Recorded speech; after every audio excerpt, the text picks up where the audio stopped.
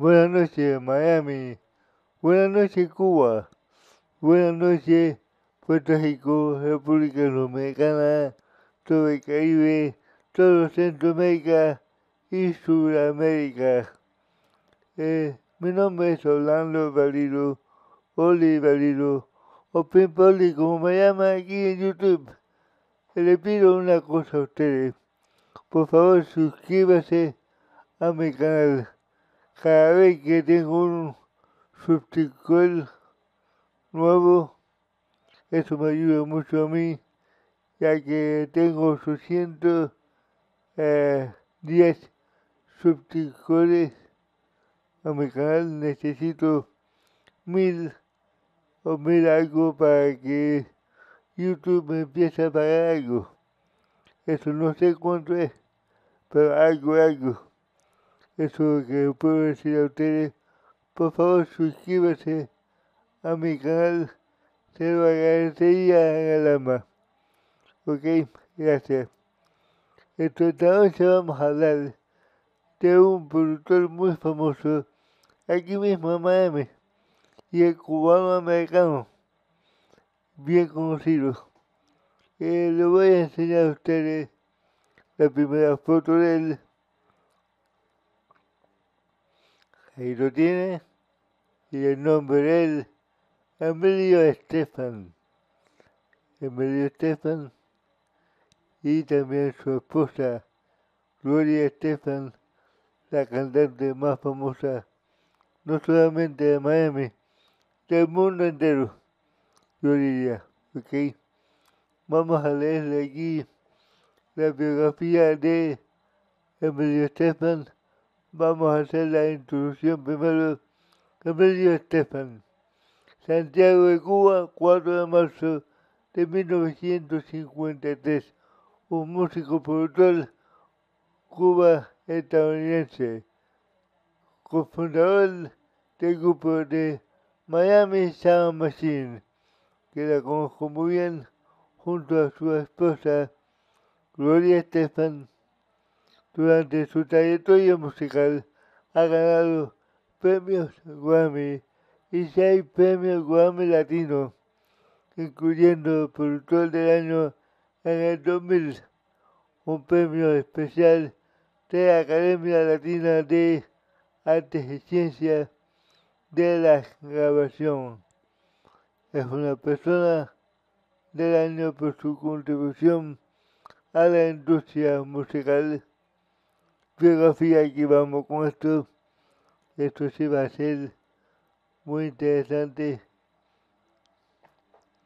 Tras dejar su Cuba natal, con su padre de cargar en cierto tiempo en España, en el 1968 se mudaron a Miami, los Estados Unidos, donde al principio hubo que compartir un apartamento con 15 eh, miembros de su familia. Y eso le pasa a todo el mundo que llega aquí en Miami de Cuba. Y eso es usual. Eso es muy común, yo diría.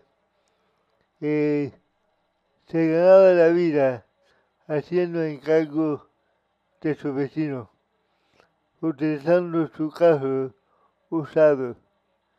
Imagínate, un carro usado.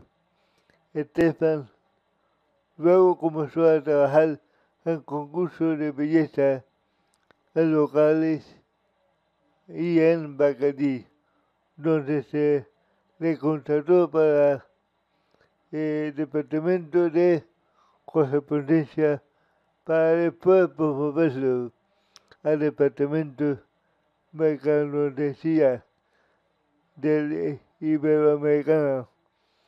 Eh, déjame deletrear esto para ustedes. M-S-K-A-D-O-T-E-C-N-I-A para Iberoamérica. ¿Ok? Sin embargo, las verdaderas pasiones de Emilio Estefan era la música. ¿Ok? Se formó un grupo denominado Miami Latin Boys El grupo tuvo éxito y empezaron a recibir contratos para tocar en diversos eventos privados y fiestas en la zona de Miami. Uno de los uh, eventos, Emilio conoció a su esposa, Gloria Estefan. En ese entonces, Gloria Fajardo se llamaba, a quien ofreció integrarse al grupo eh, renombrado como Miami Sound Machine. El ingreso definitivo de Gloria Estefan a la banda en la cual Emilio solamente tocaba acordeón y tuvo lugar en 1977. Me acuerdo muy bien de eso. Tenía como 15 o 17 años, me parece. No me acuerdo, ¿verdad? Eh, y la, música empezó a coger fuerza. La música de ellos. Eh, también me acuerdo muy bien que mi mamá trabajaba en una escuela aquí en Jayalía, a donde la madre de Gloria Estefan también trabajaba de maestra. Mi mamá trabajaba en la cafetería, pero ella venía y le daba comida a la Fajardo, que no sé cuál es el, nombre de esa maestra, pero sí, sí eh, trabajó aquí también, la madre de ella.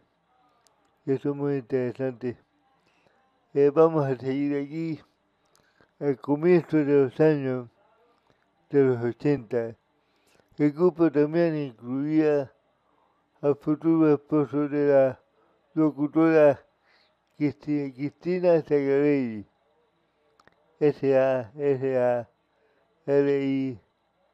G U-I, Marco Abelar, y se ya convertido en una banda de importancia internacionalmente.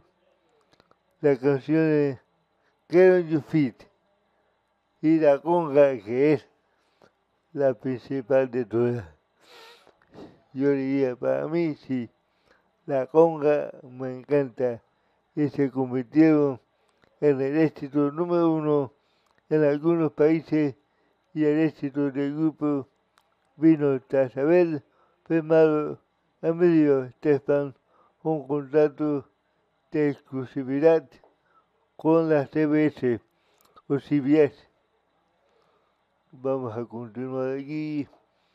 El éxito de Gloria Estefan como solista repercutió en Emilio Estefan, que pronto llegó a ser conocido por el productor de artistas de renombre hispanoamericano y comenzó a generar álbumes para una amplia gama de cantantes, incluyendo Azúcar Moreno, Talía, Shakira, Sally Sea, S.C.A.A., Ricky Martin, Natalia Jiménez, Carlos Vives, Cristian Castro, entre otros tantos, y Estefan y su amistad con sus compatriotas Celia Cruz y Pedro Knight. Que pasen de ellos. Y ellos fueron muy buenos también. Celia Cruz. Para finales de los años 80, los Estefan ya poseían una mansión y una exclusiva exclusiva urbanización en Miami. Eso se llama Star Island. La conozco muy bien. Y ahí viven no solamente ellos, sino otros millonarios más y otra gente famosa también. Star Island. Eh, era dueño ya de Crescent Moon. Crescent Moon, que significa en español estudio luna. que siente. Estudio Luna que siente. Su estudio personal y la grabación también en Miami. En los años de 2002, Estefan comenzó a producir a los Grammy Latinos. Los Grammy Latinos, evento anual televisado en todo Miami y en todos los Estados Unidos. De eso me acuerdo perfecto. Eh, el 24 de agosto de 2005, Estefan rapero P. Diddy, de I. D. Y anunciaron la creación de un nuevo sello discográfico, Bad Boy, latino para ayudar a cantantes latinos de rap. Más tarde, en noviembre de ese mismo año, se anunció que Emilio sería el productor exclusivo de la cantante actriz Jennifer López en su álbum en español Como ama una mujer, que fue lanzado el 27 de marzo de 2007 y el 13 de marzo de 2006 Hyper Calling Publishers anunciaron la futura, futura publicación de Stefan titulada Think Big, Think Big, que quiere decir piensa grande, ¿ok? If you can dream it, si tú puedes soñarlo también, es otro tema. If you can dream it, you can do it. Eso es que quiere decir eso. Si tú lo sueñas, tú lo puedes hacer. Muy interesante esa, ese, ese álbum de ellos que pretende de ser una autobiografía con mensaje de consejo para llegar lejos en tus sueños. Muy bueno, esto, esto me gusta mucho, porque si tú lo sueñas, tú lo puedes hacer. Lo único que no puedes hacer es dejarlo, orarte por vencido, seguro. En el 2008 volvieron a trabajar con Taría en su álbum Lunada. Lunada. En el 2011 fue el coordinador del libro de la experiencia y éxito, un viaje de la libertad en que invitó a colaborar a cuatro escritores cubanos reconocidos internacionalmente como poeta, escritor, Carlos Pintado, Mirta Ojito y la periodista Carlos Alberto Montaner y Carlos Ebeck. Muy bueno esto. Me acuerdo de esto muy bien también. Vida personal de Emilio Estefan. Gloria Fajardo se relacionaron sentimentalmente, perdón ahí, con el líder de Sound Machine, de Miami Sound Machine, alrededor del año 1976 y se casaron con Emilio el 2 de septiembre de 1978 a los 21 años cumplidos. A los 21 años cumplidos. Ok. Eh, tiene dos hijos. Naib, N.A. Y a Y B, nacido el 2 de septiembre de 1980, y Emily Marie, el 5 de diciembre de 1994, y viven, como dije yo a ustedes, Star Island. Es una pequeña exclusiva islita entre Miami y Miami Beach, donde otros cantantes también adquirieron vivienda. Y sé cuáles son también. Madonna es uno y otros más que no me acuerdo, pero por seguro Madonna era una de ellas, pero se fue a vivir a, Portugal. Así era la vida. En 1995, un estudiante de la Universidad de Howard, Howard murió y otro fue herido cuando su yate personal hizo colisión con la con la embarcación del Estefan o de los Estefan. Eso me acuerdo también. En el 2002, un actor apareció como esta en uno de los videoclips musicales de Gloria Estefan alegó que Emilio Estefan lo había acusado sexualmente. ¡Wow! Espérate, espérate. En el 2002, un actor apareció como extra. Era, no era actor, era un extra, era uno que siempre fondo de una película como podría ser yo también. Y lo acusó de ese asalto sexual. Ah, cama. Ya esto es, ya esto exagera. Eso no se qué ni un gato. ¿Ok?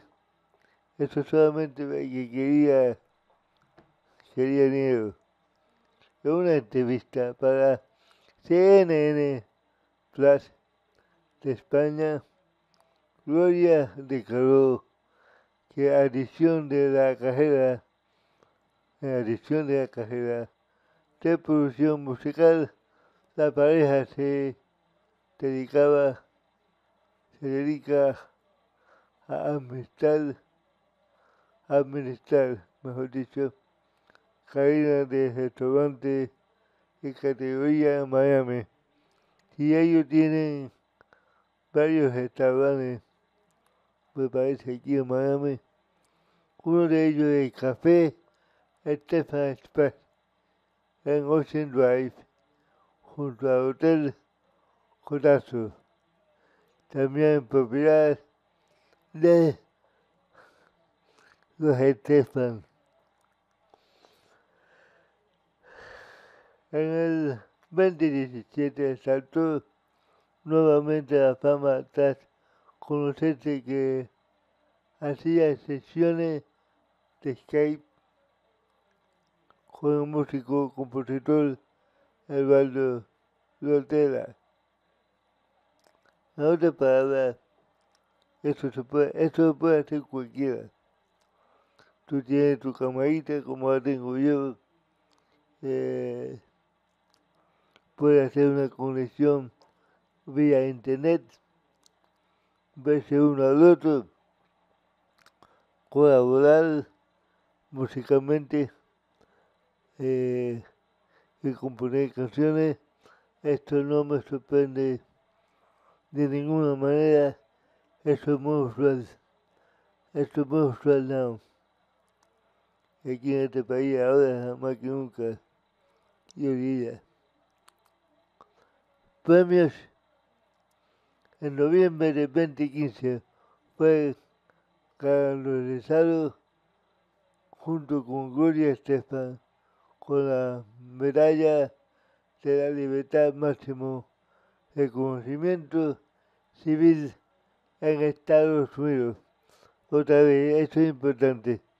En noviembre de 2015 fue galardonado junto con Gloria Estefan con la medalla de la libertad, máximo reconocimiento civil en los Estados Unidos. Muy importante y por eso lo he repetido veces, porque creo que es muy importante, quiero sepan todo el mundo. Ahora vamos a hacerle a ustedes lo que se llama background, background information, información personal y eh, profesional también. El nacimiento de Emilio Estefan, como dije, fue el 4 de marzo de 1957. Tiene ahora 71 años. Santiago de Cuba, Santiago de Cuba. En nacionalidad cubana. Familia Gloria Estefan y hijo Naeb N-A-Y y Emily Marie. Familiares Lily Estefan Sobina. Sí, Lili Estefan es la hermana de eh, Gloria Estefan, por seguro. Eso sabemos todo el mundo. Información profesional. Productor musical actor. Imagínate eso. Ocupación. Productor musical y actor empresario. Que bueno, género bachata, instrumento de percusión gráfica, Sony Music, artista Gloria Estefan, relacionado Miami Sound Machine, miembro de Miami Sound Machine desde 1975 hasta 86. Distinciones. Estrella Paseo de la Fama de Hollywood, California. Medalla Presidencial de la Libertad. Premio Billboard Latino. Trayectoria Artística 1994.